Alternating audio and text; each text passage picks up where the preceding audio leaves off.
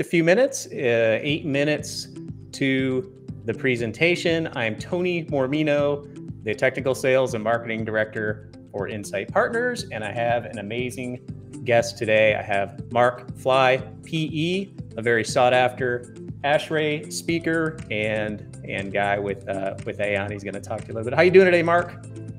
I'm doing great. Awesome. Good to be yeah. here. Mark's in Tulsa, Oklahoma. He was at the ASHRAE show in Canada. Uh, he just flew back yesterday, I believe. And yeah, last night.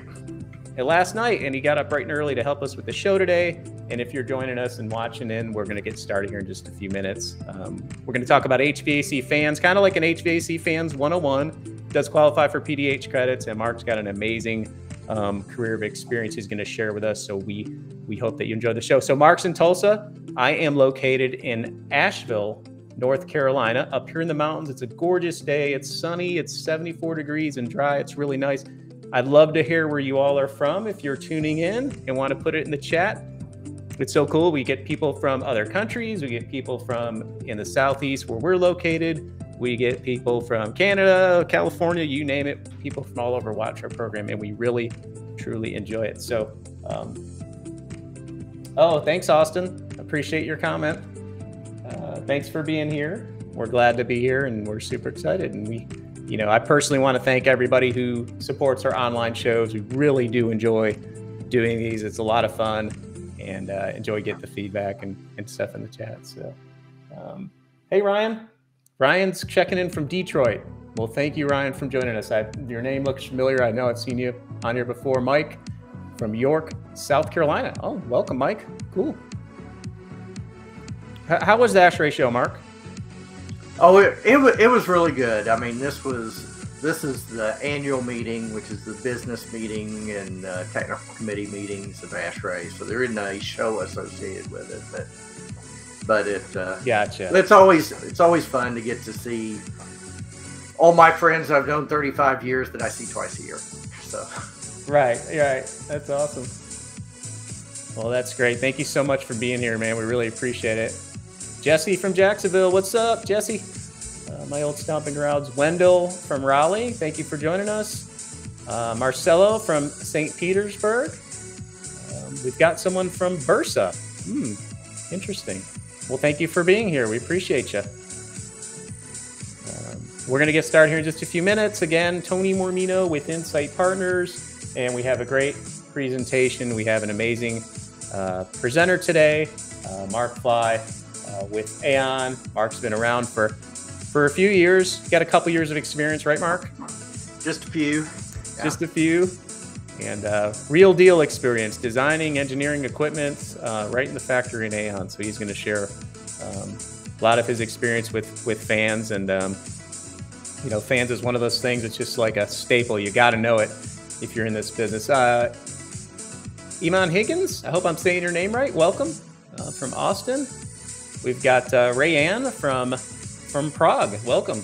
Uh, we've got Luke from Toronto and Aaron. Uh, oh, Aaron Coble. What's up, Aaron? From Greensboro. Corey, welcome. Corey from Orlando. Sarah, welcome from Atlanta. And uh, again, thank you all so much. We're going to get started here in just a few minutes. Uh, Mark Fly is our presenter today with AAON, and he's got tons of experience and a very sought after uh, presenter and heavily involved in in ASHRAE. Hey Dan, how's it going this morning?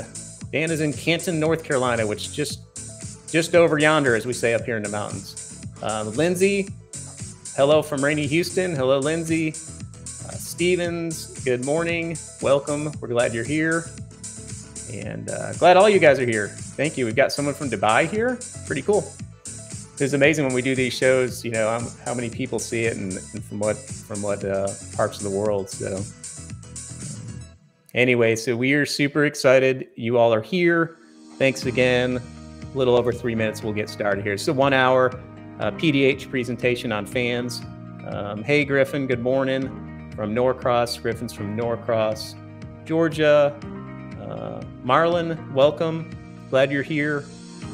And uh, thank you all for being here. We really appreciate it. I hope, I hope you can hear us, by the way. Usually I'll do a sound check to see if you guys can. Uh, sometimes we go live and, you know, we're not we're not, um, you know, news guys. We're just HVAC guys trying to get the get the word out. And sometimes we have some technical difficulties, even though we rehearse a bunch. But uh, hopefully, you all can hear and, and see us okay.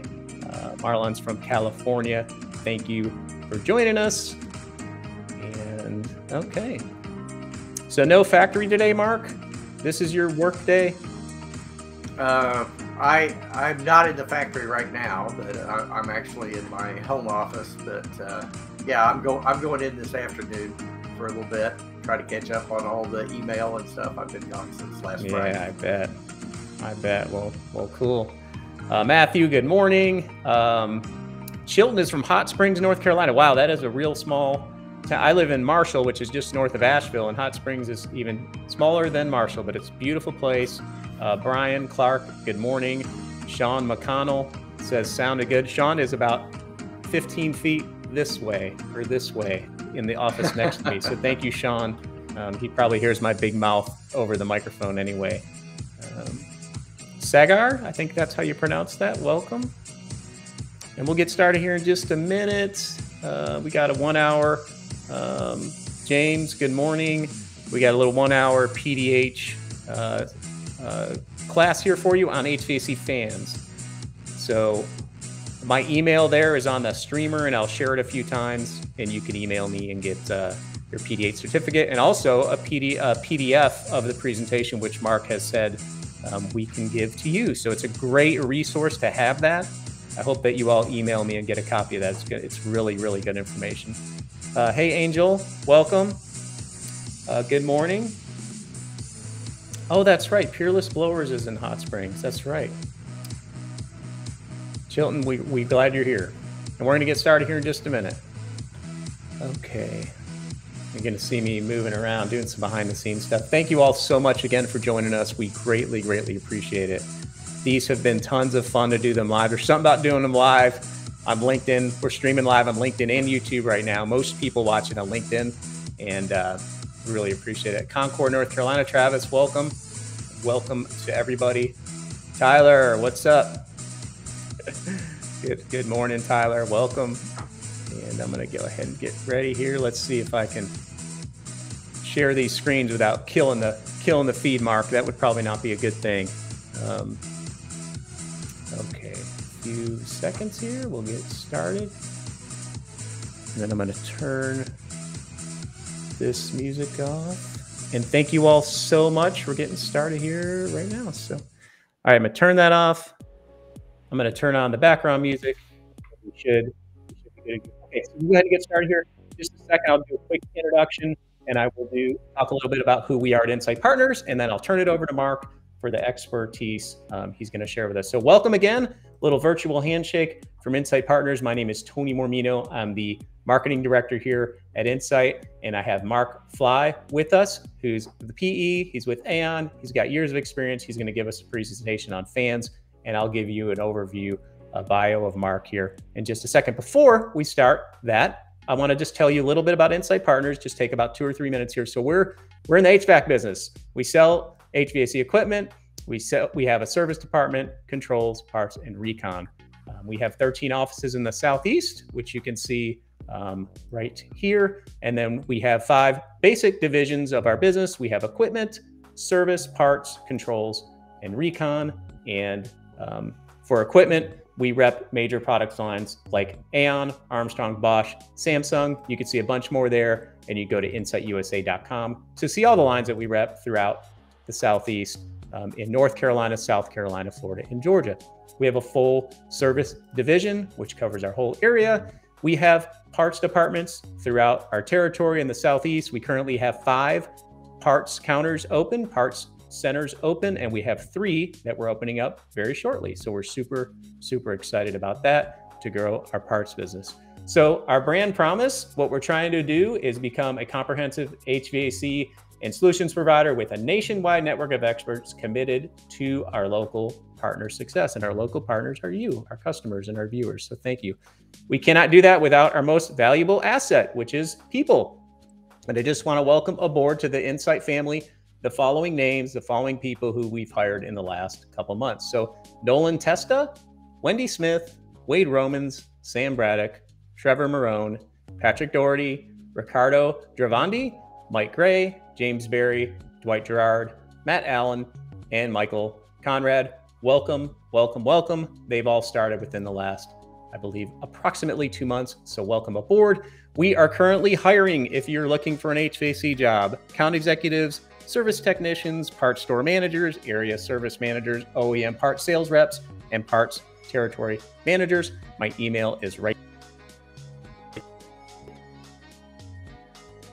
there. Can um, okay, I think we may have lost. I'm going to keep going here. I'm not sure if we're still online or not, but I'm going to keep going. Um, yeah, Tony, you're you're still online, but you're you paused for a second. So okay, I think I'm back. Can you hear me now? I I can. Okay. I'm going to assume we're still rolling. I had a little warning pop up here, but you never know with this stuff. Okay. So we believe that working together, we're stronger. So we've invested uh, a lot of time and money as a company and resources in training uh, the HVAC community. So we do in-person training with what with what we call the HVAC Service Academy, where we go around locally to do in-person training on our major products line, product lines. We also do a lot of training online, like we're doing right now. So we have our YouTube channel, HVAC TV. We have the Engineers HVAC podcast, so come check us out there. And we also do a lot of live shows here on LinkedIn. So thank you all so much. It's been a true joy um, to be doing these, and thank you all for supporting us and joining us online. So get started with the presentation here. Before we get started again, if you want to write my email down, tmormino at insightusa.com, this is where you can get your PDH credits and also your a PDF of the presentation, which Mark has graciously um, um, allowed us to share.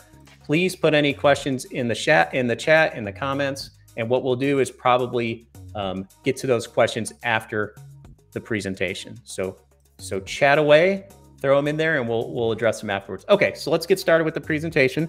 Before we get started, I want to just introduce our our um, speaker today, which is Mark Fly.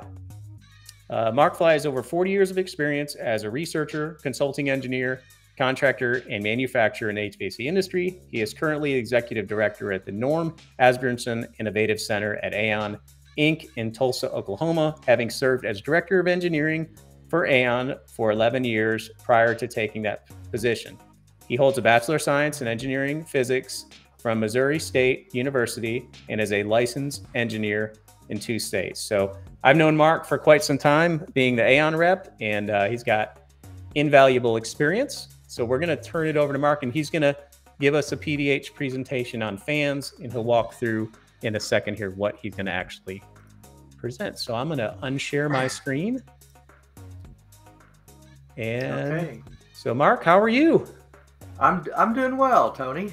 It's uh, this this this is fun. I don't know that I've done quite as slick a presentation online as this. So we'll we'll see how this goes, right? So yeah, I like it. So so and I got lots of slides, so I'm going to try to keep moving and not tell too many stories, which I think we'll try and keep you on track, Mark. I'll try, do my best. going. So okay. okay. So so we're going to talk about fans and and really talk about fans, obviously from HVAC manufacturing or HVAC standpoint. I have a bias of uh, toward probably larger equipment. So I'm going to talk a lot more about uh, backward inclined type fans than than others, but we're going to hit the high points on, on several different things. And uh, uh, general disclaimer: these are Mark Fly's opinions, not necessarily the opinions of anybody else. so I'm not, uh, you know. So let's let's go go ahead and get started. So you know the learning objectives uh, basically of this of this class in this class i do a lot for uh, as part of my, the ASHRAE distinguished lecturer program for ASHRAE so i run around and do it in local chapters a lot but uh, it's uh, know different fan types and their general characteristics. We're going to talk a lot about fan curves and fan laws uh, I hopefully if you get nothing else, you're going to really understand what fan stall and and the unstable region of the fan operating envelope is and why you want to avoid it, and basically just get try to give you enough information to select the best type fan and best selection of size of fan for flow characteristics and acoustical performance and everything else. So, um, and the last thing I'm going to cover is some some fan efficiency metrics that you may or may not have heard of, uh, but probably will. So, moving into fan types, the general fan types, probably the most prominent fan in the industry is the forward curve fan or FC fan. Sometimes you call it, you hear these called squirrel cage fans. um, um, part of the reason for that is is uh, um, is that these these are very inexpensive fans, and they have some characteristics that that that make them uh, good for applications where the fan is very close to the space. We'll talk a little bit about that. You know, part of the downside of these fans is they don't do well unducted. They really want ductwork on them. They would really like to have a long straight duct right off the discharge. Um, and they can be in general louder at higher static pressures. So they're good fans, but you kind of want to keep them under three inches of external static pressure uh, across the fan. And, and like I said, they're they are relatively inexpensive. We kind of take a next step up in the evolution of fans in the industry we we went to what we called a backward inclined fan, and there are several flavors, but they're the same uh, characteristic type fan, which means uh, these are fans that use a fan blade configuration that depends primarily on aerodynamic lift to, to do the work. So those are backward incline, backward curve, and airfoil are just variations on the generic backward incline uh, uh, type fan blade. And if you put that in a housing, which we call a centrifugal fan, we call these backward inclined, backward curve airfoil centrifugal fans. They are there again. They are most efficient with ductwork on them. So in a draw through uh, configuration with a ducted discharge. Um, one of the th- characteristics of the way these fans are rated is that because a lot of the things that you put on this fan are actually in the inlet. They're not actually in the performance data because you don't know how big a sheave or fan guard or something else are on there. So you have to be a little careful about that. and if you can't duct them, there is a significant energy loss. And that's true of any centrifugal fan or any house fan or um, even an FC fan. And we'll, we'll talk a lot about that when we get to system effects. Now, my favorite fan is a plenum fan. I've spent most of my career designing HVAC equipment. I'm always putting fans inside boxes, and I'm and I'm very often blowing through something, be it a coil, a final filter, a gas furnace, or something else.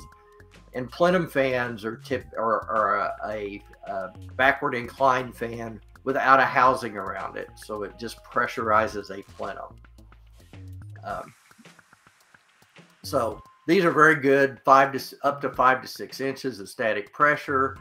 Um, and those are kind of general guidelines. I've, I've seen them run a lot higher. sometimes they run a lot lower, but those, you know, that's kind of the, the, the, the normal range you see them running at. They can be hot, quieter in application than a house fan. They can actually be more efficient in application and, and i'll talk a little bit about that but it kind of depends it, it's dependent on how we measure efficiency but uh, many times you can put a plenum fan in an application where you had a house fan if you if you're looking at both of those and even though the efficiency number on that house fan may show to be higher you actually have less brake horsepower input going into the fan or less power going into the fan so and uh, you know the they're very forgiving of system effects with the exception like all fans is you have to be very careful on the inlet side of it. So if you have a very short return air plenum into these as they're normally mounted uh, horizontally then the, the air doesn't want to turn into them. We'll talk a little bit more about that. Um, so you know crowding the supply fan uh, crowding the inlet on any of them, really supplier or not. And and they can be of any BI fan type or backward inclined fan type, backward inclined, backward curve, or airfoil.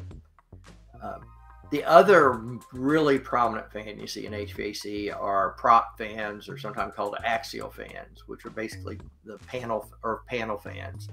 These are propeller blades, typically in some kind of short housing, and they're typically used on uh, um, condenser fans. They you can also see them sometimes for return and exhaust. They get used a lot for general building ventilation, uh, exhaust fans. Um, they don't like high static pressures uh, in general as just a plain uh, standard um, axial type fan and and they tend to be loud get very loud at medium to high statics now if you want to get a little bit more out of that out of those axial type fans you can put them in a longer case in which case they call them a short case axial fan um, they, they get more efficient than a standard prop fan.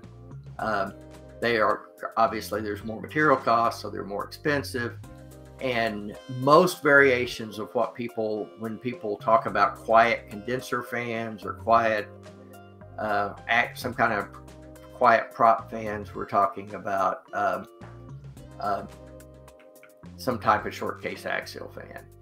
And then if you want to take that that axial fan, put it on steroids, uh, it's a vane axial fan. vane axial fans are velocity pressure machines. They like to move lots of air really fast. And you don't see them as often today because of energy efficiency concerns and sound concerns. Uh, used to see them a lot in high rise buildings. They used to be used a lot in what we used to call back when I started in the business built up systems, where you would have fan rooms, not fan equipment. Um, you know, that one of the good characteristics is even though they're loud, they make sound at they, most of the sound generated is at a higher frequency, which is easy to attenuate. So, like for instance, in our laboratory, we use vane axial fans in our sound chamber to for pressure equalization because I can put sound traps on each side of it and do a very effective job of getting it very, very quiet. Um, and like all fans, like I said, there anything that involves high velocity, you got to be very careful about the inlet and the outlet of the fans. Um, they are they tend to be long, very long. And then there's a kind of a, a crossbreed between axial fans and centrifugal fans called a mixed flow fan. Been around for a few years. They kind of have a narrow range of operation where they're really good. I mean, most of these fans will run outside what I'm talking about, but usually five, six, seven inches. Um, and the and the most prominent reason people are interested in mixed flow fans is they have a very flat sound spectrum, meaning it's very, very even, not a lot of tones, kind of more of the waterfall type sound. So from an acoustic standpoint, they can be very quiet. So kind of went through those. I'm going to talk a little bit more in detail about the actual fan blades. So the the first one um, up here is the FC fan. I always kind of like to think of FC fans as scoops. They kind of scoop up air and throw it down the ductwork. And a forward, it's a, called a forward curve blade. There's one I didn't really talk about because it's not really an HVAC fan. It's a radial blade fan. If you own a vacuum cleaner, uh, you probably have some variation on a radial blade fan and you know how quiet they are or not. Um, they're used a lot in material handling because they move material through them. So dust collectors and uh, paper and pulp mills. And then the one that I was talking about before, this backward inclined fan, you'll notice is kind of different. Has a opposite slope than an FC fan. And, and like I said, it uses aerodynamic lift, and we're going to talk a lot about that. Um, so as we look at the fan curves on these different type fans, there's some basic characteristics. Then they kind of fall into two categories. Forward curve fans, the more air you move, the more power they take. So the absolute worst thing you can do on a forward curve fan is set it in the middle of a table and just turn it on. It likes to have a little static on it to help control that static pressure. So out until the until it has zero static, the power is going to increase. Um, so uh, so it continues increases continuously with flow.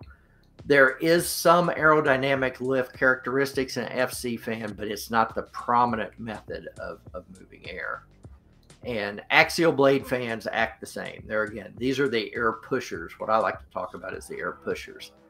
And, and like I said, they're they're suitable for material handling and power increases with flow. Uh, prop fans have a peak power because the blade on a prop has an aerodynamic lift component to it. There is some flow through that fan that matches the pitch of that fan blade perfectly to give you the the best efficiency. And so there's a peak in that power and a peak in that efficiency. Um, uh, and like like I said, they're low volume or, or low pressure, high volume fans. Um, and a backward inclined fan is is has a similar characteristic. It has that that airflow through it where it matches perfectly the angle of the of the of the blade so that you get the maximum aerodynamic peak for that application. So there's a peak in that power. And then this this chart is absolutely not based on research. This is a world according to Mark.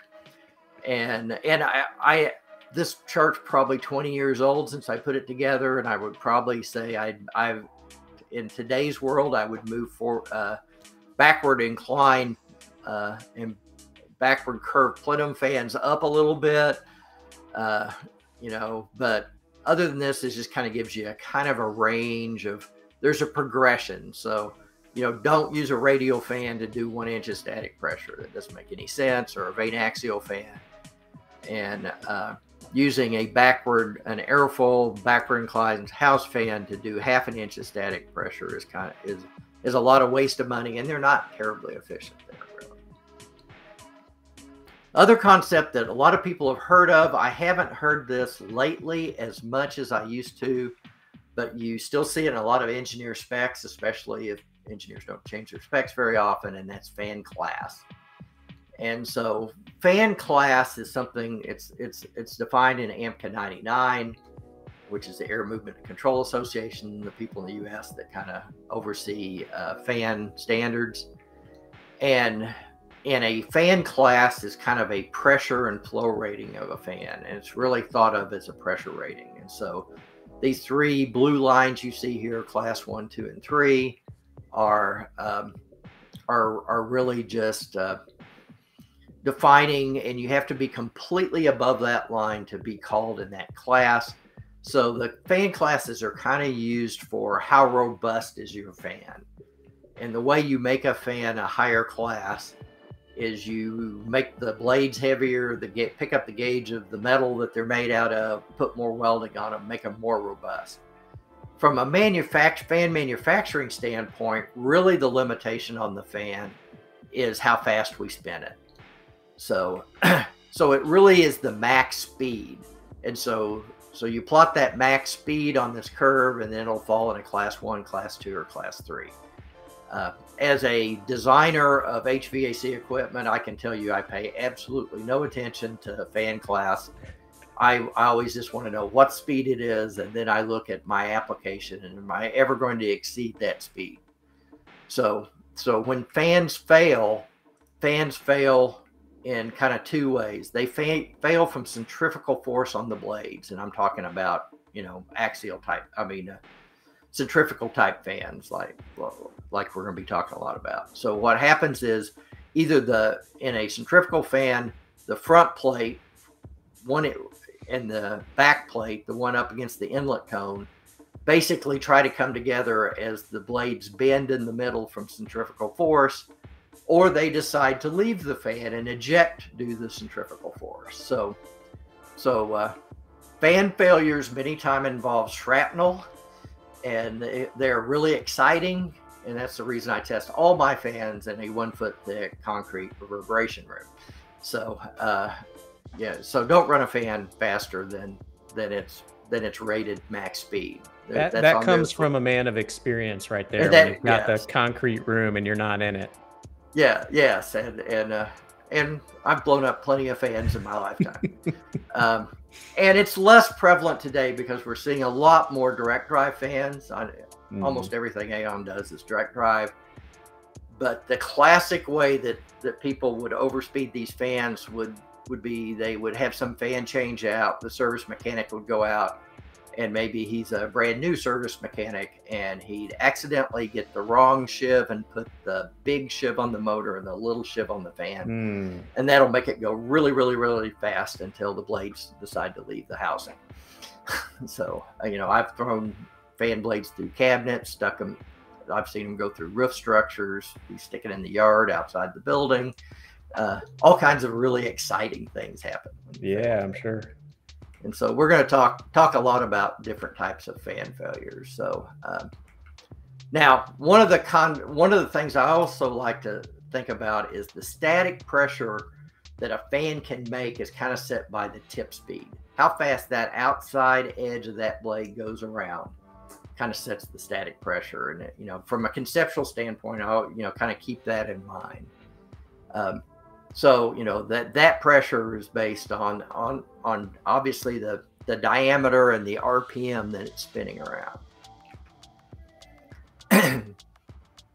and the you know the the fan speed diameter blades tends to determine the also tends to determine the flow. How much can it gulp as each rotation as it goes around. So okay we're going to talk a lot about fan curves and fan laws. So this is kind of the classic fan curve and this is the constant R. The blue line is the constant RPM, and you'll typically this is how they're plotted. Most fan curves that they show the stuff over here towards zero flow, you'll see this nice little dip, kind of looks like a third order curve fit if you remember that from school. And then you're then you you run that speed to wherever it uh, crosses what we call the selection point. Um, and that selection point uh, go back to here. That selection point is the flow and the static pressure you need that fan to do for your particular application. And if you draw a, a squared function curve through that selection point we call that the system curve. We're going to talk a lot about system curves here in a minute. We can also plot on that a horsepower curve and notice there's a peak static pressure on the static pressure curve. And, and when I'm talking about BI fans, there's also a steep peak power point on that curve, typically a little bit to the right of the pressure peak. And uh, my non scientific 40 something year experience uh, observation is the more efficient the fan, the closer those two peaks get together uh, that's that's just kind of something I I always think about when somebody comes to me and says I've got this really really efficient fan or or if we narrow the wheel we can get more efficiency out of this or we can do this or do that and typically we're moving those peaks closer. Um, and if we plot the efficiency on that curve, it also has a peak and it happens to peak at the peak uh, um, of the of the fan power. So that is that point where that fan uh, blade approaches the airflow coming into it at that perfect angle so that the airplane wing lift out of that blade is as good as it's going to get. so this peak in the in the static pressure we call the stall point and um, and these fan curves are not and the cfd guys would argue with me but these fan curves traditionally have been empirical data. They are measured data. And so for a typical fan, typically we'll measure, we'll run it at a speed, we'll measure static and flow at, at uh, 10 point points across that curve. Uh, if you if you run them in reverberant rooms, you run them over there in this uh, past this stall point in the unstable region of the curve. I've done a lot of that in my lifetime because I really wanted to understand what was going on there. Uh, but and then, we do this curve fit. The curve fit is uh, typically called a cubic spline under tension. If you've ever done a lot of stuff in Excel spreadsheet and there's a little button in there on the graph that says smooth curve, that's a cubic spline under tension. So basically says, I'm going to draw a curve. It's going to go through every data point and it's not going to wander around a lot in between. I'm going to pull that string tight.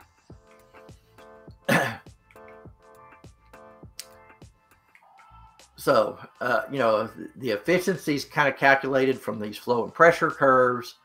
And that's, like I said, that stall point is that peak static pressure point. Well, if you've done a lot of dumb things in my life, like run fans a lot at around that stall point in nice concrete rooms where it's safe, because fans don't really like to run at that unstable region, what you find is there isn't this nice, smooth, third order looking curve.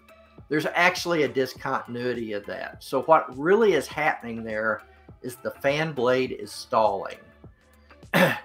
um, and and it's it's just like an airplane wing. It quits flying at this point. And actually, if you want to play around with it, depending on which side you approach it from, you can keep the air attached to that blade a little farther when you're coming from high flow to low than you can from low to high, and you actually get a little overlap. But there's this discontinuity in that fan uh, flow characteristic there. and so we we we have a system curve that we kind of call the the stall area, or the stall curve that passes through that that peak point. And because it is an in uh, unstable region of the fan, you can measure 100 fans and that peak point will move around a little bit because it's really dependent on just how perfect that fan blade is put together and how perfect the angle is and how smooth the even down to how smooth the surface of the blades are. So uh, it's it's unstable region. So like I said, in in a in a perfect world, we want the the airflow to attach to the air to the to the blade, and the blades act like airplane wings. They use aerodynamic lift, and the the distance over the top of the blade is farther than the distance over the I mean than the bottom. So the velocity is higher, so you get lift from that higher velocity creates a lower pressure there. Now, when you go into stall, basically what happens is you've slowed that plane down or that airplane wing down to the point that you no longer attach the blades. You start getting eddy currents around the blades. We call it blade separation. That's typically what makes noise in fans. It also what what what makes that static pressure capability of that fan drop because it can no longer uh, create the lift it has, and it goes from the aerodynamic lift mode to the air pusher mode. So, Mark, is it when it's in stall, it's it's still spinning at the RPM, but it's not moving any air? Is that correct? Right. Okay. It's not it's not moving the air as efficiency. It's still moving some air because I mean even and it, people and service guys know this. Even if you run a backward inclined fan backwards, they actually do still move a little bit of air. Not very much, and right, not very capable right. of static. So, gotcha. so, so what happens when you stall this fan? You put so much pressure across that fan, it can't move air across it fast enough, and and it and it separates. And so, and as soon as, as soon as it stalls, the pressure in that area around that blade, that micro environmental place, pressure drops and when the mm-hmm. pressure drops, the fan blade says, Oh, hey, I can pick back up. I can pump again. I've, I'm no longer have this restrictive high pressure across it because it, it dropped there.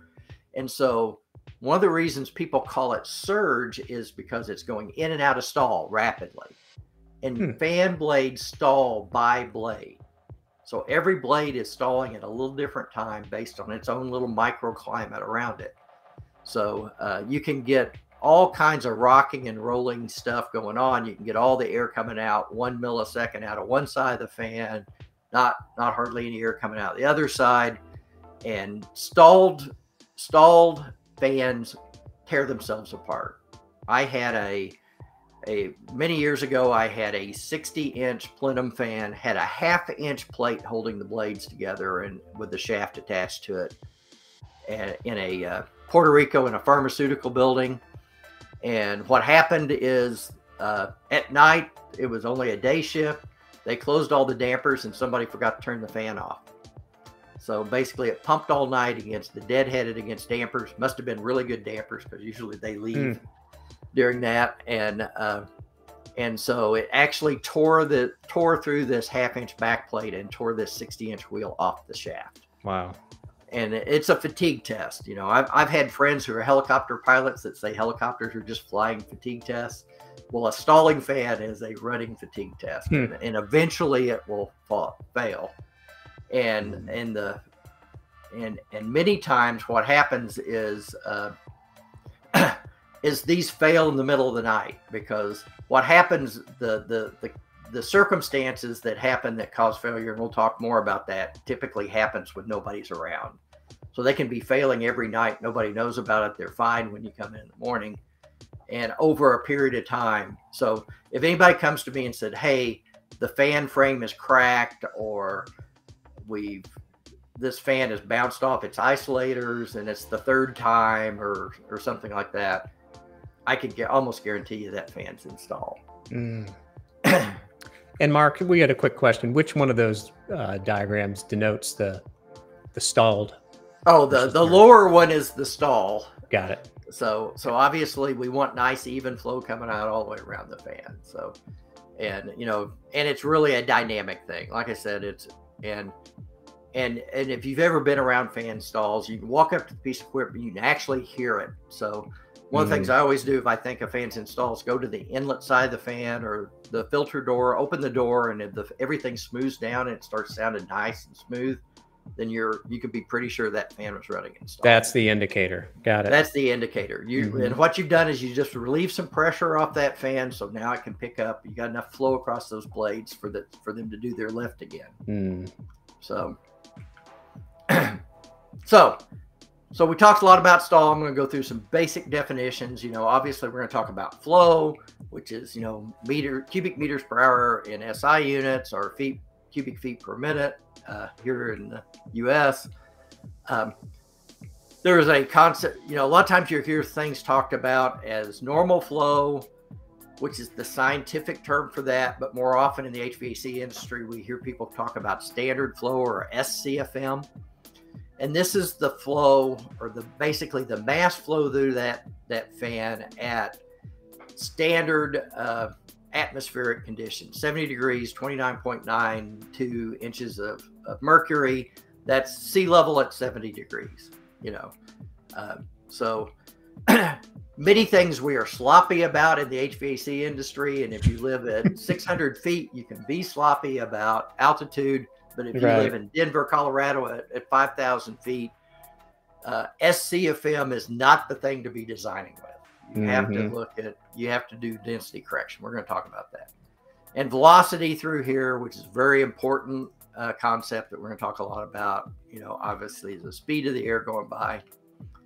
Um, now, in fans, people talk about total static pressure, we talk about velocity pressure, and we talk about static pressure. So, so those are three different types of pressure. So the total pressure is not only the pressure across the fan, how much it pressurizes the duct downstream, but also the momentum of the air that's going through there.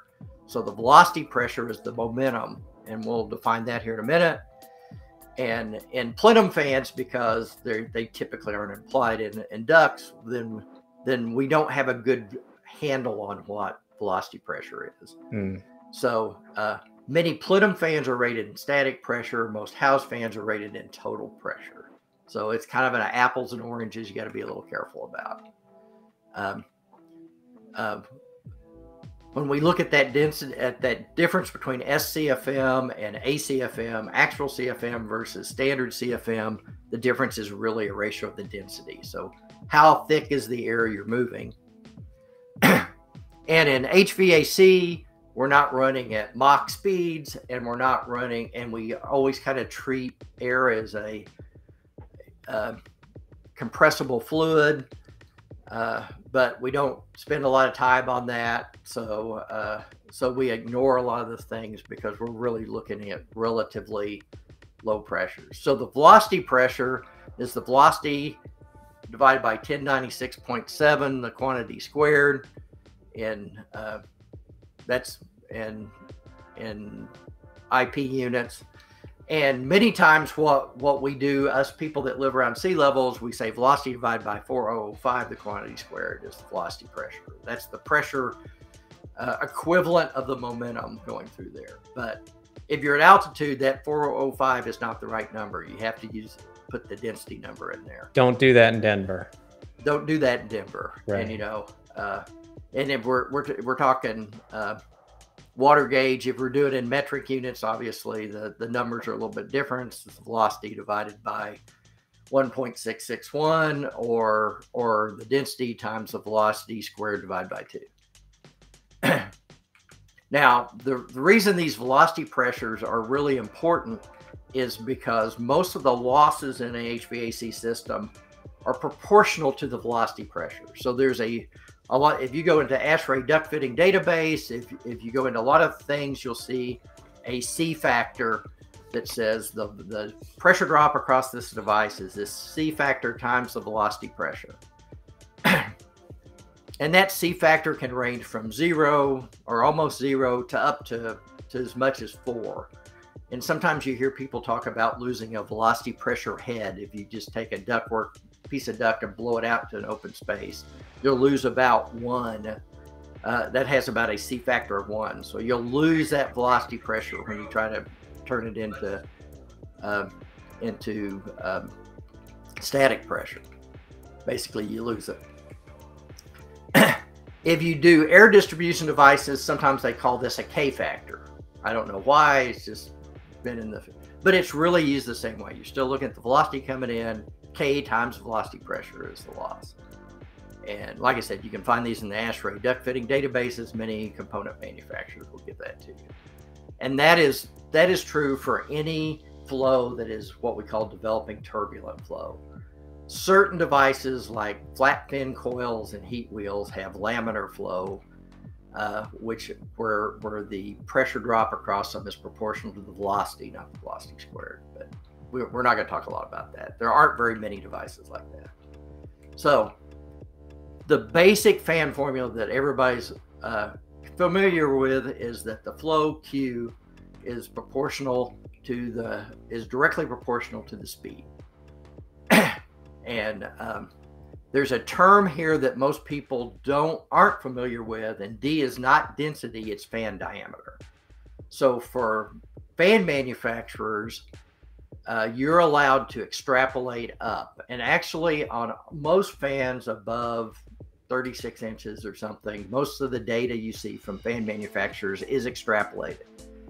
The AMCA lab in Chicago can do about 40,000 CFM.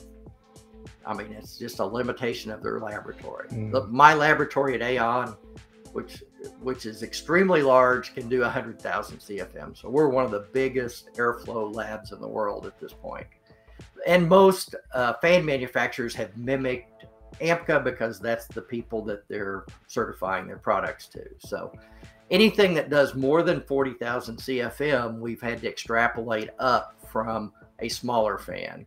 And the rules are that smaller fan has to be exactly dimensionally proportional. And since that's not ever really true, uh, it usually there's a little bit of conservatism if you extrapolate to bigger fans, but not if you if you take it down and say I tested a 60 inch fan and I'm going to see what a 15 inch fan does. Because you can't keep things like the gap between the wheel and the inlet cone consistent. For manufacturing and for application and service usually the gap between the wheel and the cone is about a quarter inch because the fans are spinnings, they're not perfectly round. The inlet cone's not perfectly round, and the mechanics putting it together aren't doing it with micrometers. You know, this is this is a low cost piece of sheet metal, not a highly machined turbine. So, uh, so you do so there's a tolerance gap, and that quarter inch gap is the same gap on a quarter inch fan and an 84 inch fan and that gap is a loss in efficiency. So you can see that it's going to be a whole lot more percentage loss uh, in a small fan than it is a big fan. So, yeah. um, so the pressure varies as the square. So if you speed that fan of the speed, or by uh, by association by the flow. So if you want to do twice the flow, you're going to get squared the uh, it's going to it's going to square the pressure. And there again, there's that D term about it's the square of the diameter. And now we're correcting for density. So fans are volumetric machines, which means they take so many CFM from one side at a certain speed and move it over here. What really varies is not the mass flow through it; it's the uh, the pressure and the mat and the the pressure and the mass change as you do that, and the horsepower amount of work it does. So it's a little different. Most devices, we if you use that SCFM number and you figure out the loss and mass flow, that works really good for that device. Fans don't you always correct the you don't correct the CFM, you correct the pressure and you correct the power, which is the next one we're talking about. Power increases as a cube. So can see the power goes up very, very fast as you speed a fan up. Pressure goes up fast, but the power goes up even faster. And and there again, it's directly proportional. If I move, you know, if I have one pound of air, I'm moving across that fan, and I move two, it takes twice the power to do it. So uh, so you, it's it's also proportional to that density ratio. So, so th- these are kind of all the all all the fan laws that we we put together. So, this could be the first time in history fan laws have been discussed live on LinkedIn. Mark, so okay, breaking, you're breaking yeah. new. well, and you're breaking new ground. these are laws; these aren't suggestions. Fans in general right. run on the fan curve you can muck them up, and we call that system effect. We're going to talk about that. So, uh, kind of the general feel for this if I want 10% more air, I speed the fan up 110%. I speed up 10%, right? But I'm going to get 121% more pressure when I do that. And I'm going to need 133% more power. So if you miss your selection point on your fan and you have to speed it up to get there, the first thing that's going to happen to you is going to run out of horsepower. Mm. Yep. So, so if you need 10% more pressure, I can't get enough pressure across the fan, then you only have to speed it up 5%, but you're still going to get 116% more horsepower. Like I said, the horsepower is what always gets you.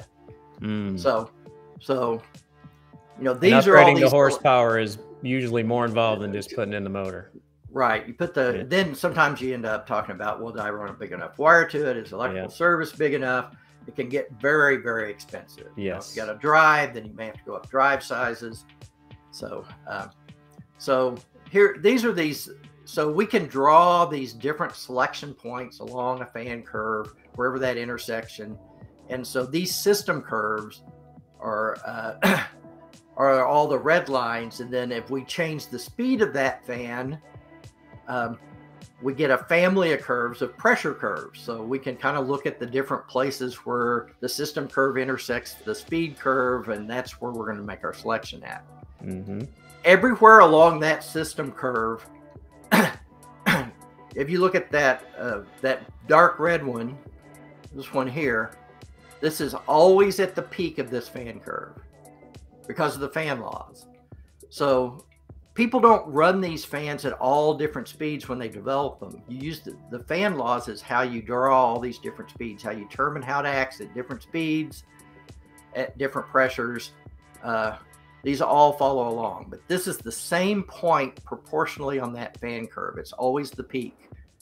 And uh, so as you go up and down that fan curve, you stay at the same, what we call point of operation or same proportional or relative position, scaled position on that fan curve.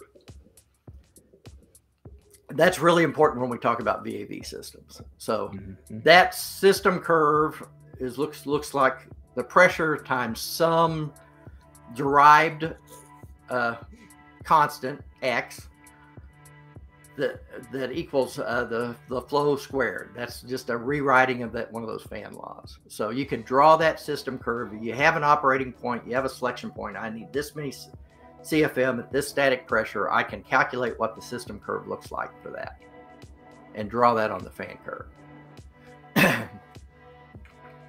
so you know, typically you're not matching one of these. Your system just defines for you how much ductwork you got and everything else you do the calculation. Yeah, so you drive a, your system curve from the system, but it is a characteristic of the system. It's not a characteristic of the fan. I can put all kinds of different fans. The system curve doesn't stay stays the same. It's what happens in the building. It's how much duct work, how much diffuser, how much damper coil you put in in, in that path. so, so we're going to select a point, right? and we're going to select uh, this point, uh, let's say right here. We want this much static pressure, this much flow, and and if you notice, that doesn't give us if we have just a little bit more static pressure than we think we do, then we automatically move all we can move way far to the left of that and get into that unstable region of that fan, that area where that fan's running in stall, where it's pumping sometimes, not pumping sometimes, and it will eventually tear itself apart. so, um, mm. so you know where you pick that fan on that fan curve. I always say depends on the toler on the competence you have on where you're making your selection.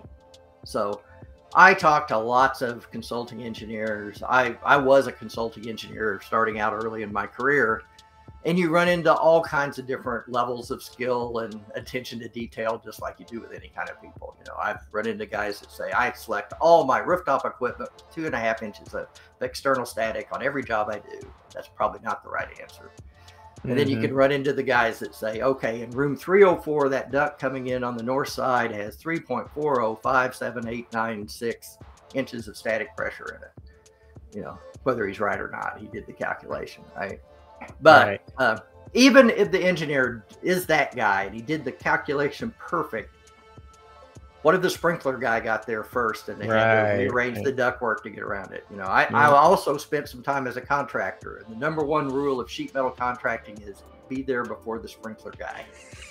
Because they run the sprinkler lines dead center through the ceiling cavity. So right. if you're not there first. So, you know, so it's it's very important to you can't you got to determine how much and the farther to the right on that fan curve you select the more leeway you have right now you remember right. those efficiency curves as you slide off to the right at some point once you get past that peak point you know and that peak static point or peak efficiency points just a little bit to the right of that stall point um, you may not want to select at that at that peak efficiency point on every job. How much confidence do you have? And mm-hmm. and um, of that curve. And by the way, we say these these system curves are fixed, but we have filters and they get dirty. So actually, they're not fixed. You know, as the filters load up, get dirtier, the static pressure through the system changes, and and um, and if you want to, if you if you're in an application that requires you to maintain a certain CFM, things like clean rooms, uh, operating rooms in hospitals, and other things like that, you may want to speed that fan up and maintain, measure, and maintain that flow through that space. And this what happens in during the dot com uh, boom when we were building lots of clean rooms, electronics, new chip manufacturing they were doing a lot of this, and this is where we discovered bearing pitting.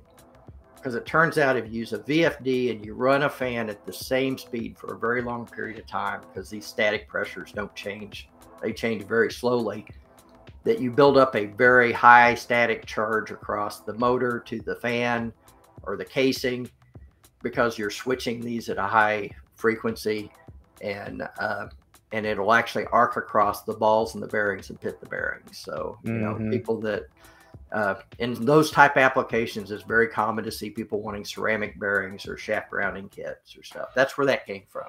Right. Is is the VFDs on there. And we're not going to talk a lot about that, but if you've ever walked up to a fan that wasn't grounded, that had a VFD on it, and you touched the frame, you won't you will look next time because it, it won't kill you, but there's oh, it'll shock a lot of current, not yeah. a lot of current, but there is a lot of voltage. And you it can will, feel it, huh? I've never it, experienced that. Yeah. It it will. Yeah, it's you know, it's you know, it's it can be like grabbing hold of a 110 wire. Hmm. I mean, it can make your arm hurt for a couple of days. so yeah, it, it can be a lot. So. Um, yeah, we do a lot of surgery suites with HEPA filters and right.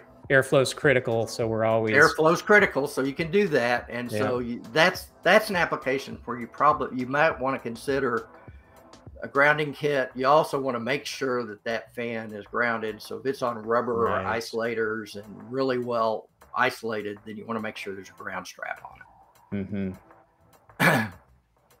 so Now let's enter VAV systems. So the traditional way to control a VAV system was to set a pre static pressure sensor two thirds of the way down the duct um, and control a constant static in that system. And variable volume systems really are like VAV systems you see in in um, in buildings, but they also are variable uh, um, central exhaust systems for lab lab hoods and other things act the same way.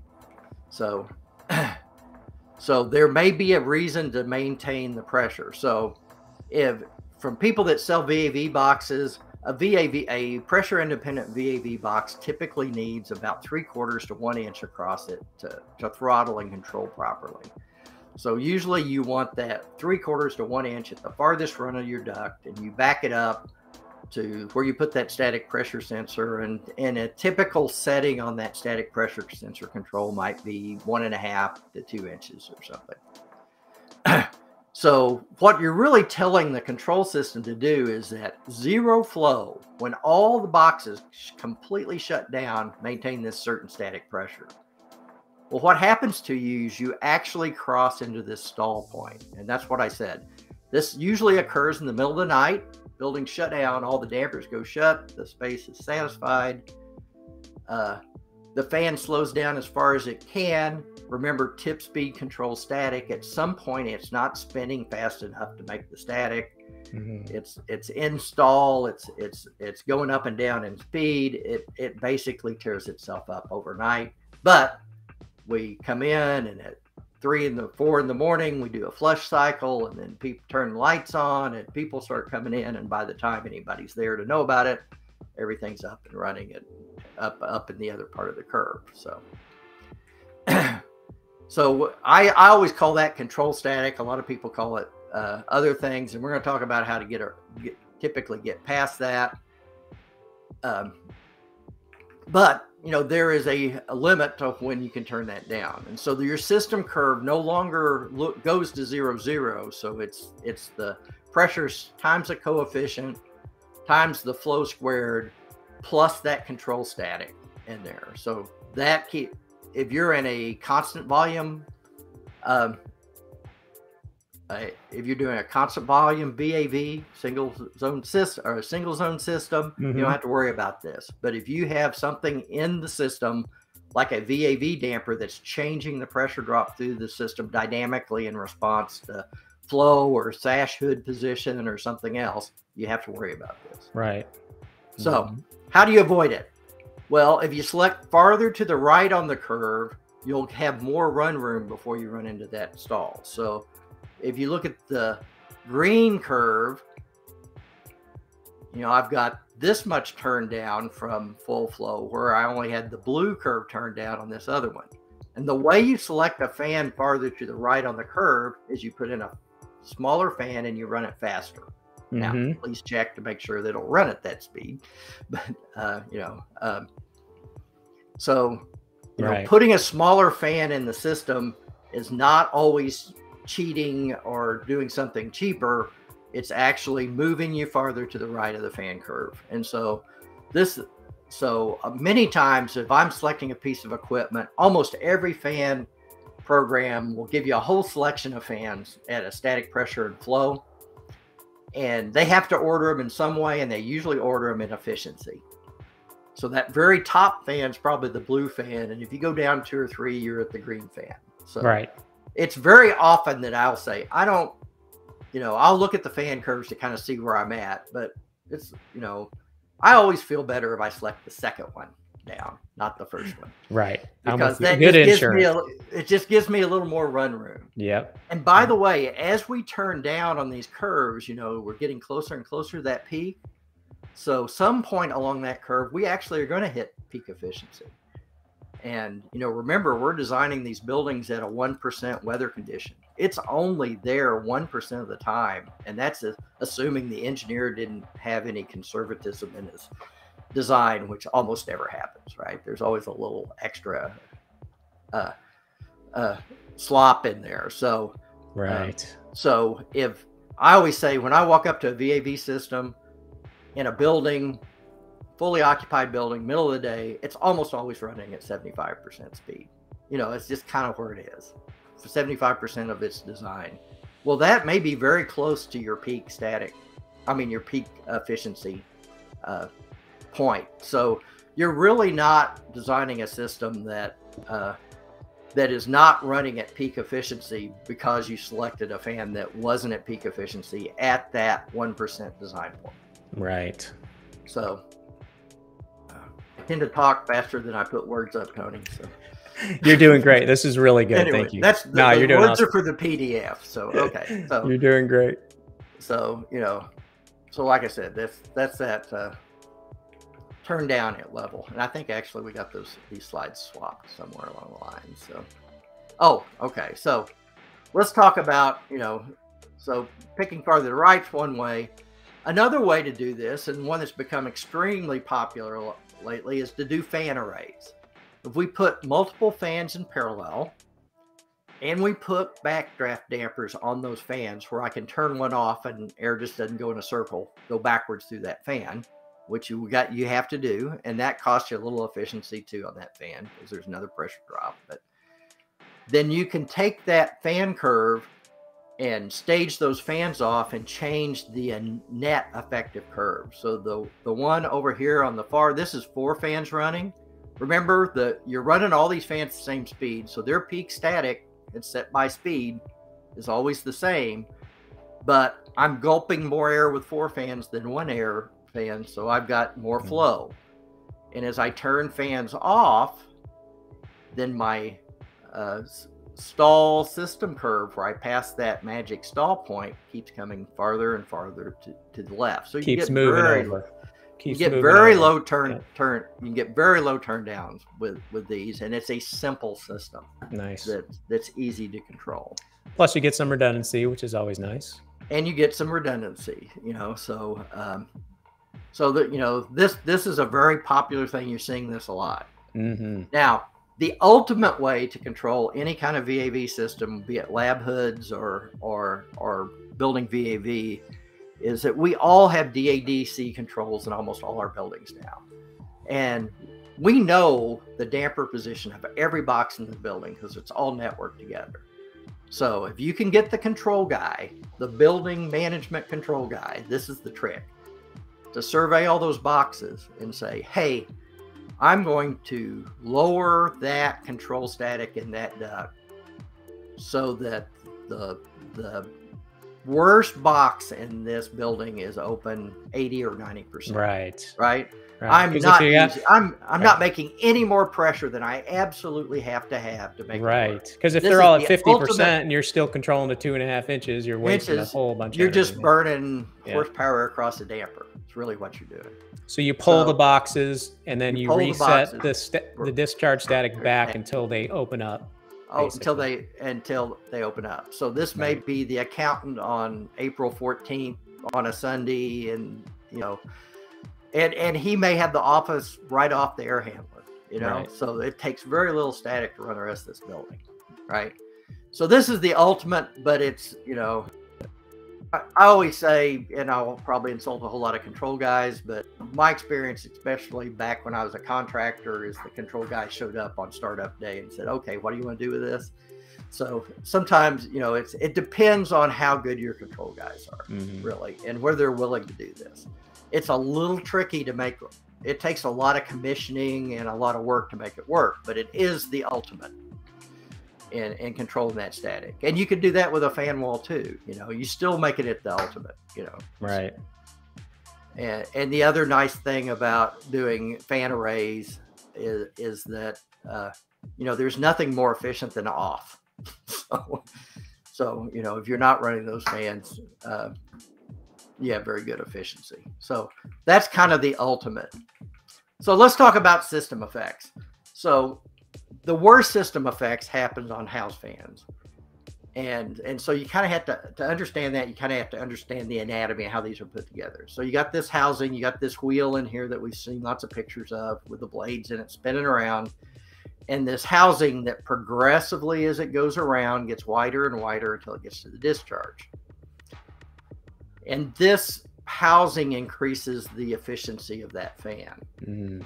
In all these, there's a piece of sheet metal inside that fan that comes up in there that kind of strips the air off the blades so it doesn't keep going around because you can't make this zero tolerance down here called a cutoff plate. And and fan designers play with the cutoff plate and and do that to get the most efficiency. Between the cutoff plate and the housing that's how they get they maximize that for efficiency. But in general if that cutoff plate in an fc fan covers about 50% of the outlet area uh, and in a backward inclined fan or airfoil or backward curve fan it covers about 20% or 25% of the of the flow. So so so that's kind of how house fans are put together. Uh, and i talked about see? Now what happens in these fans is because it's spinning around and coming off this housing it's coming off the top of that housing very very very fast. And actually if you put a probe in here down at the very bottom of the duct you might even me- measure a negative static pressure. And it takes about two and a half equivalent duct diameters to, for that to even back out. and, for a house, you know, for a typical house fan. For a typical house fan. Right. And I've done this in the laboratory. I've measured fans, put duct on them, and they perform a whole lot better without it. I mean, with the duct. And you take the duct off, same situation. You'll mm-hmm. see the mm-hmm. static pressure and flow drop. Uh, this is a real thing. And and it you know it's it's about two and a half duct diameters at 2500 uh, gross discharge velocity the you know the cfm divided by the area of the duct coming out and and so obviously you don't want to put um, some component in there really very close to that fan because because you've got a really really high velocity spot velocity going through there mm-hmm. So that equivalent duct length is very important. And like I'm sure that everybody installs their AAON rooftop units on the duct and gets a good like 10 feet of straight duct down off. Absolutely. Every Absolutely. Time. Every yep. time. Well, you know, that's not how it happens. We use mostly plenum fans too for a reason. They don't have an unducted discharge, but you know, this happens constantly. Yeah, Go go in your house and see what you've got. You've got an FC fan in there. You don't have a good duct straight duct. So hmm. so it's a it's a loss that we live with, but not a loss that shows up in the fan data. So so gotcha.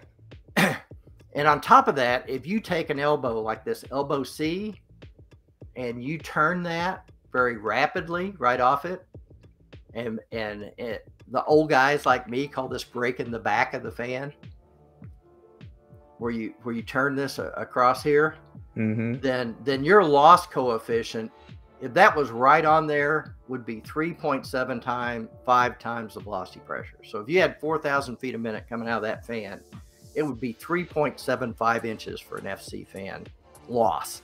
Well, that fan probably doesn't do 3.75 inches. Mm. So, so it's a huge number.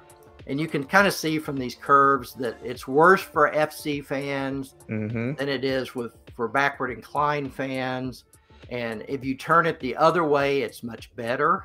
It's only like a little less than one for a backward incline and a little about two for a and turning sideways is just the same as breaking the back. So wow, the problem pretty, is this still pretty hefty. Yeah, yeah. Yeah. The, the, problem is this this air going really fast through here doesn't see the turn signal, doesn't know it has to turn, right? Mm-hmm. It's just gonna slam into the backside of that and you get a huge loss from that air just blasted into what's mm-hmm. basically a flat plate. So, I mean, you and and turning vanes and anything else in there isn't going to help you much because all that air is crowded up at, at the very yeah. top. So, mm.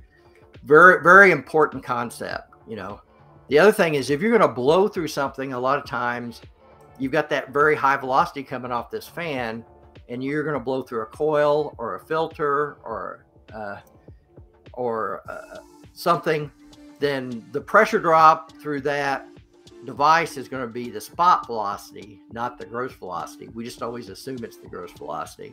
And so you're only going to use a little piece of that coil or a little piece of that fan.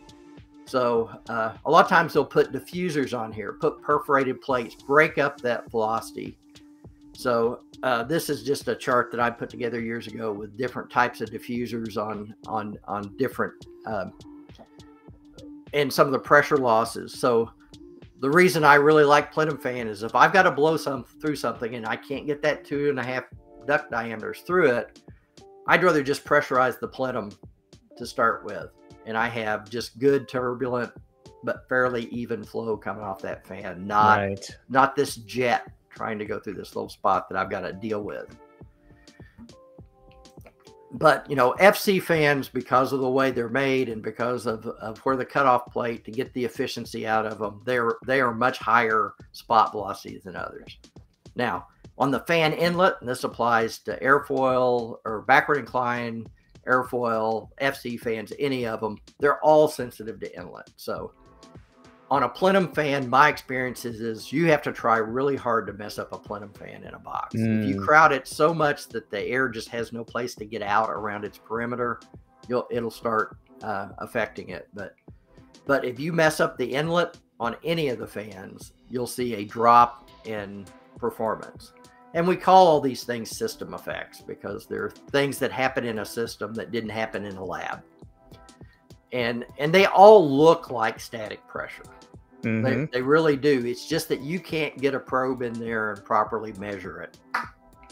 So, uh, like on a on a plenum fan, all the air, you know, the, there again, that air isn't really going to make this turn like this. It's going to come in here. It's going to get sucked up through here. Most of it's going to go out the top. We could even be stalling the bottom blades because we're we can't get enough air into them mm-hmm. Because we've got velocity pressure coming in, helping us here and not here.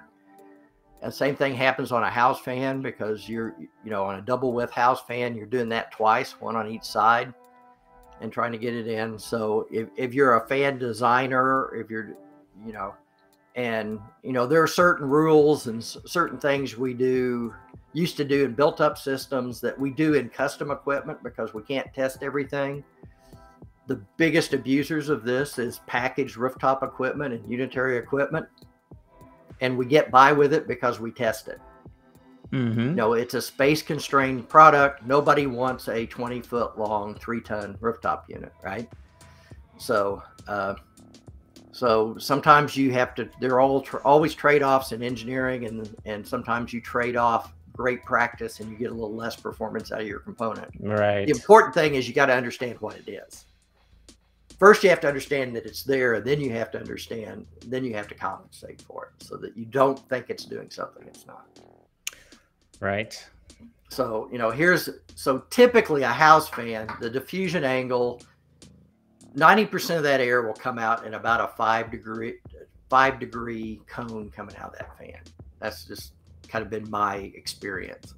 Mm. And then you can put diffusers and things and get that spread out to about 25 degrees.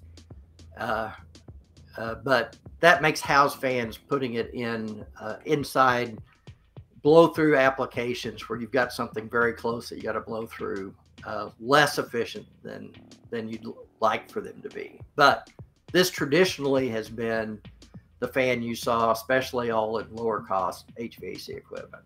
Right. And and and you know if your draw through, if it's the fan's the last thing in the cabinet, and you can get some straight duct off of it, it works great.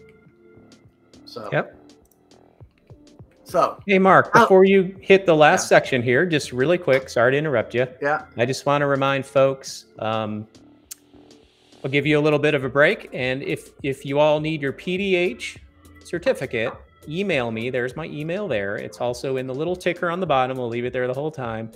Also, Mark has offered to uh, for me to email you the PDF of this presentation. Yeah. So, um, and if you like what Mark's doing, and I hope you do, please like, this video. We'd greatly appreciate it. If you got to run, we understand, but just email me. Um, we have another section here that we're going to stick around. And if you got any questions, we got a few in the chat. We'll be glad to ask any questions. So um, we got one more. Great. And this is Mark, you're doing a great job. This is really good information. Thank you so much. Okay. So, uh, I've got I got just a, a, few more slides. I want to talk a little bit about fan efficiency. Yeah, metrics. no problem. I've, Take I, I've lived I've lived through this, and this is pretty short, but I want everybody to be aware of it because I think there's a lot of um, lack of awareness here of, of what's going on. So, the first, well, the first fan efficiency grade that was around for years in ASHRAE 90.1 was horsepower per CFM, and and you still see that in specs. But in 2013, actually slightly before that, I was sitting on the technical committee at ASHRAE for fans 5.1 and the 90.1 committee standards committee came to the fan guys and said hey guys can you come up with a better way to do fan efficiency? And so uh, gentleman named john cermak who was the chief engineer for acme went off and developed what we called feg and so fan efficiency grade. Hmm. and fan efficiency grade said hey these are standard.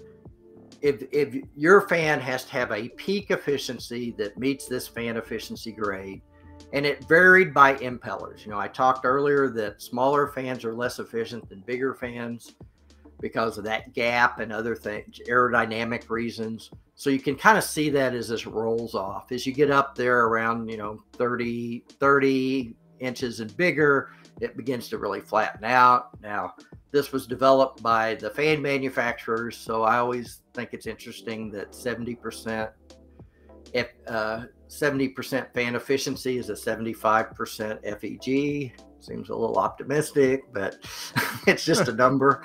is the but, uh, is the is the number like the FEG 75 is the 75 the percent or is it the um, diameter of the fan? Well, it's a fan rating. A so, fan rating. Okay, got it. It's fan rating. So that FEG 75, if you have a specification that says I need to be FEG 75, for a 30 inch fan, that'd be about 70%. But as you got out here to say a 10 inch fan, then you could be just a little above 60. Hmm. Or uh, actually a little below 60 and still meet that FEG because they were, this was an attempt to account for the fact that small diameter fans just can't be as efficient as larger diameter fans, even though they were made scale models of each other. You know. Got it. So, um, so it was it was FEG metric was referenced in in AMCA standard. It was at ninety point one for a number of years, and then um, and FEG was based on brake horsepower, so shaft input power. It didn't take into account motor efficiency. It did not take into account drive efficiency. And, uh, you know, basically it said there was kind of a vague term that says, hey, and by the way, you ought to be selecting within 15% of the peak efficiency because this is peak efficiency. This is as good as a fan as it gets.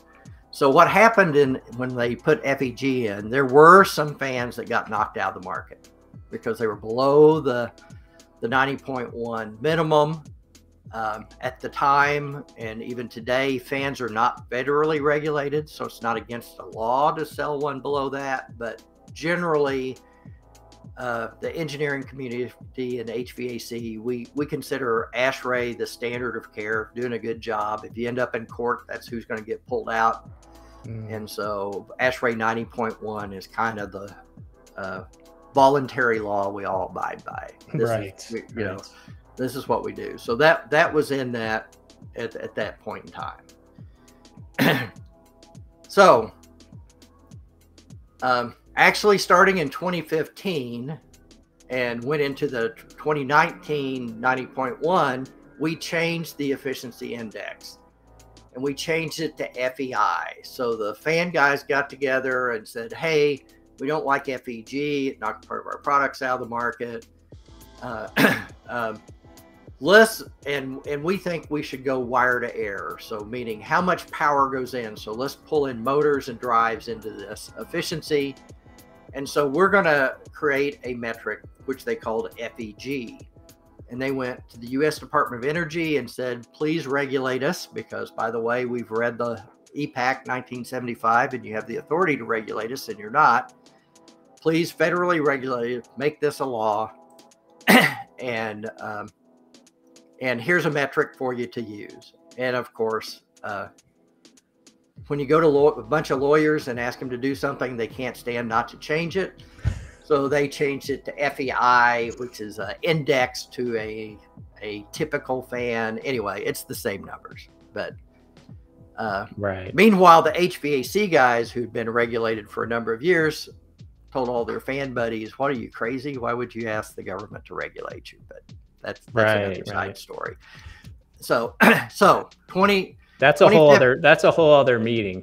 That's That's a whole other talk. Yeah, That- that's a that's a over a beer conversation. usually. Yeah, yeah, I hear you. And and so I know about this because I was actually on the negotiated rulemaking with with uh, with U.S. Department of Energy in the summer of 2015, and we met in a windowless conference room in in Washington D.C. two weeks a month from like May till November, and we couldn't agree. And in a negotiated rulemaking, everyone has to agree in the room, and it's really a it, it started with the federal government with cafe standards, you know, miles per gallon Department Standards or uh, Department of Transportation started doing it, and now DOE does it Mm, because the government got tired of being sued by uh, industry over some new regulation they they put out, and and because industry usually won. so Right, right. so so now we do a lot of negotiated rulemaking. So there's about 25 people in the room. We all sign a thing saying we're not going to sue you, including the trade organizations for whatever device you're regulating. And so I was on the one in 2015, and I was on the side of equipment manufacturers. I'm also our company's also a member of AMCA, so we basically were on both sides. But uh, since I was the guy there, I personally thought we shouldn't be regulated in products that were already regulated, like rooftop equipment Right, right. don't regulate my regulations. So uh, that was a sticking point. AMCA wouldn't agree to it at the time. It was a failed negotiation. So as of today, there is no federal regulation on fans. Now they're starting it, uh, and then of course, how regulations are put in and how they are enforced very much depends who's sitting in the White House. And uh, a few years ago, we had a change. This all happened under Obama. Uh, when we changed to Trump, all this went away. Now President Biden's in office, and now we're talking about it again. So there, uh, so you may see this fairly soon. But it is has been in 90.1 since 2019, and it's uh, based on a standard called 207 and 208. It is a wire to air metric, and it defines this bubble. This these green lines are a little bubble. um, so here's the so you have to select your fan in this operating bubble.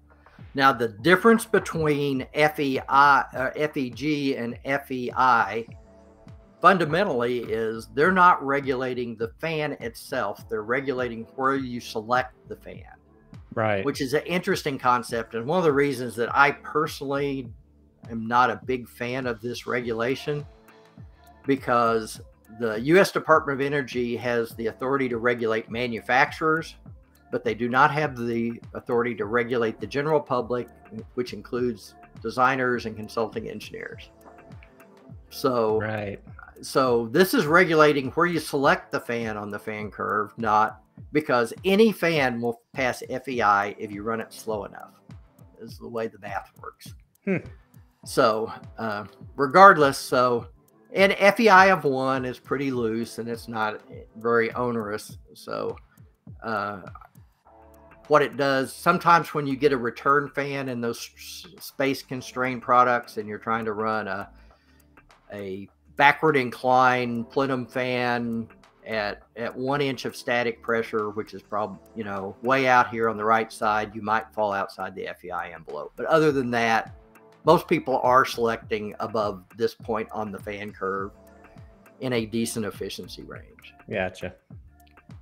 But every three years, the U.S. Department of Energy reuses, renews all their energy standards, which means ASHRAE 90.1 renews all their energy standards, and they always get more stringent, right?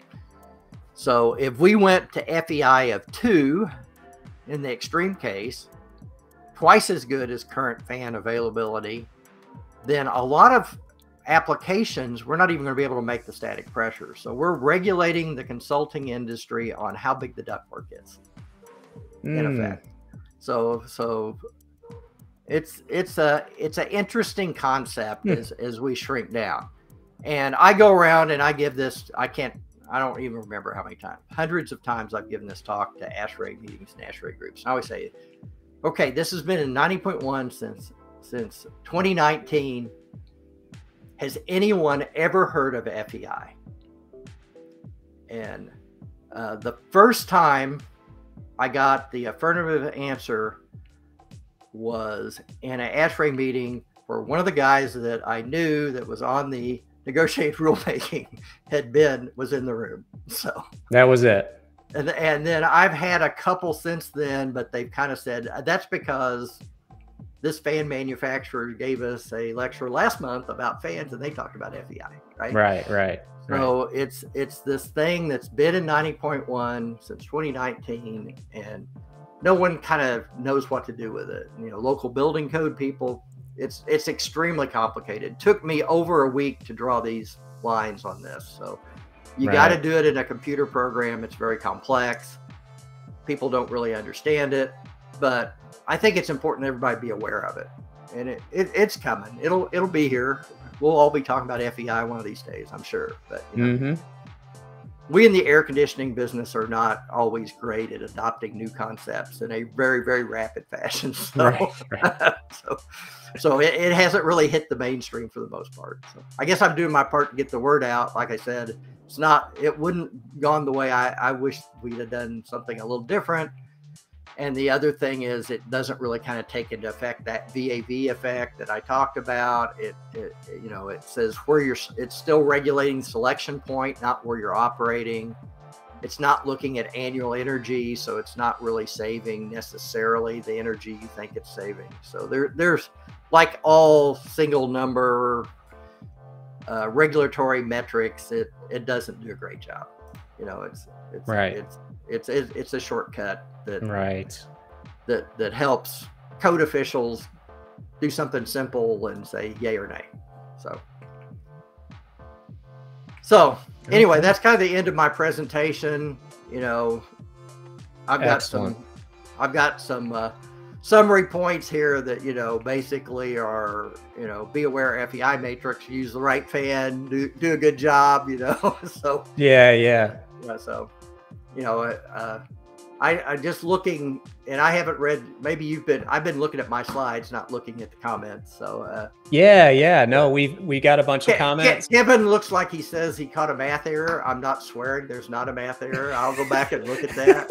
Uh, we'll I apologize if there is, but I mean, I've given this you know, at least 500 times. And, and no Kevin, one's ever if you're the, If you're the guy, you caught it. So he should get like a hat or a t-shirt. I'll keep yeah, him hat posted. or a t-shirt or something. Anyway, yeah, I'll, I'll, go back and, and, and check that number because I, I wouldn't swear I'm not infallible. No, no, no problem. Um, yeah, great. So no, that was really good information, Mark, and we're so glad you you came. We'll definitely have to do. Mark's got a, many very good presentations. Um, he will give us just a reminder uh, email me. My email is in the, the, the, the ticker on the bottom, T Mormino at Insight USA, and we will send you uh, the certificate and also a PDF of this presentation, which I think is great to have in your back pocket and keep as a, a reminder about the different types of fans and yeah. laws. And, and you all can check my math too, then, right? so, yeah. So you don't want me checking your math. Let me just tell yeah. you right now even though I'm gonna have an engineering degree. But anyway, so like um, this one more quick thing. Uh, thank you all. Please, if you would like this video before you go, if you like what you saw, we appreciate it. And check out our other um, social media content. This video will be we're streaming right now on YouTube and LinkedIn. So it'll live on our YouTube channel, which is HVAC Insight Partners HVAC TV. Come check that out. We got a uh, we get about three subscribers to that channel a day, and we have about 21 hours of view time a day on that channel. So we greatly, greatly appreciate it. I will also, at some point in the near future, turn this live event into a podcast. So, you know, if you want to have fun, fun for the whole family, you can listen about a fan presentation with your drive to the beach. You know, how much more fun can it get? and then, and then, uh, and then, you know, please connect with us here on LinkedIn and um, please, uh, you know, keep in touch. We're gonna, you know, you could also email me for future presentations. I when you email me for the PDH, I also store that and I'll email you the next time we do a presentation, especially when Mark's uh, going to be here. So Mark, we we greatly appreciate you And um, we appreciate AAON as a partner of Insight Partners um, throughout the Southeast and uh, all of our sister companies and everything. And man, what a great job. We really appreciate it. And I, I had a lot of fun today. I hope you enjoyed it. And um, if you would stick around for a minute, I'll kill the feed here and we'll just talk for a few minutes. Okay. Um, but thank you so much. And, and thank you all for joining us. We appreciate you. Yeah.